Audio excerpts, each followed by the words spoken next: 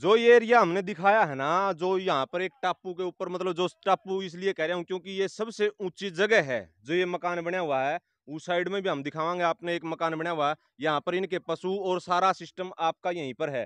तो ये पानी जो आपको दिखाई देने लग रहा है ना बिल्कुल इस पशुओं की तरफ़ मतलब जमा इसकी दीवार का जाला गया आपको दिखाना चाहूँगा मैं बिल्कुल ये पानी है ना कुछ तो कम हुआ है बाकी ये पानी उस दीवार का जाला गया था आपको इस साइड से मैं दिखाना चाहूँगा अगर और बारिश होगी या पीछे से पानी आ गया तो यहाँ पर इनके पशुओं को बांधने का रास्ता भी नहीं है।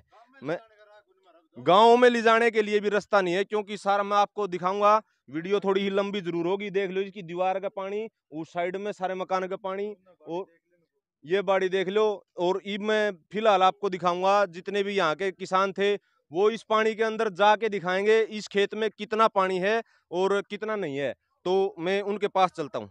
रोक दे ये वो किसान है जिनके खेत में मतलब पानी बहुत ज़्यादा है और इसका जो हम मतलब माप दिखाएँगे पानी का इस खेत के अंदर कितना माप है? तो इनसे देख लेते हैं मतलब ये गोड्डे तो नहीं टेक रहे खेत में खड़े हैं फ़िलहाल।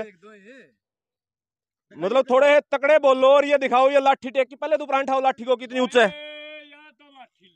यह लाठी है। ये देख सकते हैं आप इस आठ फुट के सात आठ फुट के आसपास मतलब लाठी ले रहे हैं आपकी ये। इतना पानी। तकड़े बोलो सुनता को नहीं अच्छा तकड़े बैठे को नहीं खड़े हो। हाँ, खड़े जा। अरे इतना पानी था किसी ने बला दे कड़े ले जाओ गई भी ना। पानी ले। हाँ। जी सरकार बढ़ता ही हमें करे ले जा मत मत जाएगा राजपुरा का पानी टाइम जो मारा तो चढ़ा कोई माला नाम पी लेंगे। सरकार कर का। हमारी फरमाइश है तो राजपुरा मत दई पूरी रुकनी चाहिए हमारा तो नून का पानी आएगा दाल नून लक्का आया से इतनी बता सरकार नू जुटेंगे तो फिर मारे वकील कया दे है कि मैं ये देख सकते हैं मतलब है पानी के अंदर पूरी तरह तैराकी लगाते हुए इतना पानी हो गया अलग कितना पानी हो गया होगा पानी तो मैं देखने भी पाँच फुट का छह फुट का है बूढ़ा नु गण ला रहा मन्ना को नहीं मेरा कै फुट का हूँ मैं लाठी तन ताज़ा लसको लगभग लगभग चार फुट का आसपास पानी इसके खेत में है। और सारे इसे तरिया है मतलब कोई थोड़ा आगे। ना आगे हाँ अपने पैरे चाल की दिखाओ। ये देख सकते हो आप मतलब सारे खेतों में इतना पानी हो चुका है।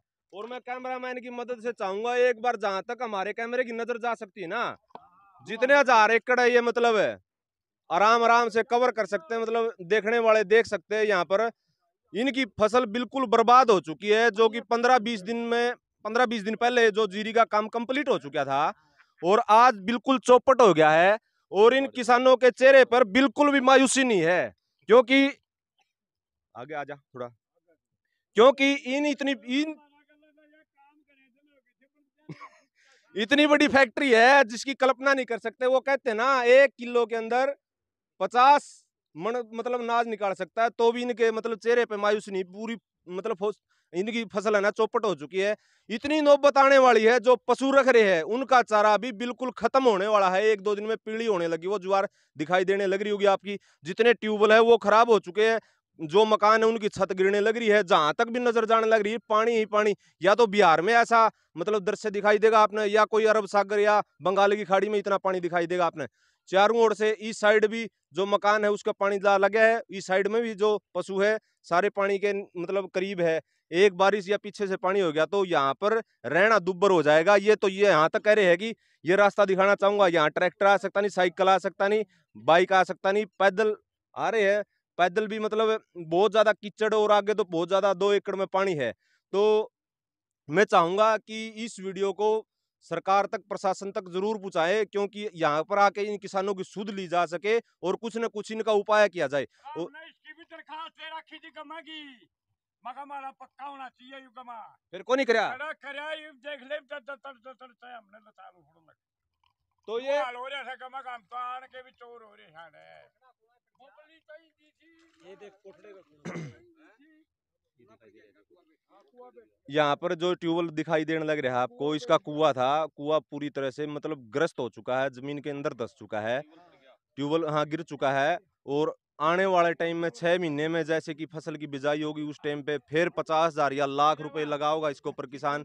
यानी कि लागत लागत ही रहेगी किसान की बेनिफिट का तो नाम ही नहीं रहा।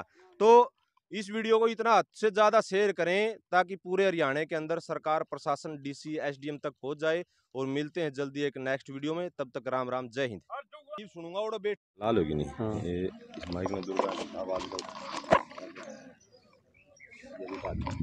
दारी चल रही देख देख आवाज़ का न्यारा बेरा पटा यानी कि सेकंड भी चल रही है और रिकॉर्डिंग भी होने लग रही गले। ठीक है।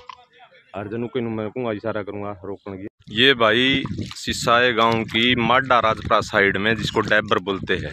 उस साइड में हम पहुँच रहे हैं और यहाँ पर बताया जा रहा है ढाई तीन हज़ार एकड़ में लगभग सारा ही जलमग्न समुद्र टाइप में दिखाई देने लग रहा है। जहाँ तक मेरा कैमरा की नज़र जा रही है, वहाँ तक जल ही जल दिखाई दे रहा होगा आपको चारों ओर से। और जल कोई थोड़ा नहीं है, लगभग लगभग तीन, साढ़े तीन, चार फीट के आसपास जल है। और बड़ी भारी नौबत आ गई किसानों को। सारी जीरी डूब चुकी है और जो पशुओं का राशन, वो भी लगभग ख़त्म हो चुका है। तो आगे का ब्यौरा दिखा रहा हूँ मैं आपको।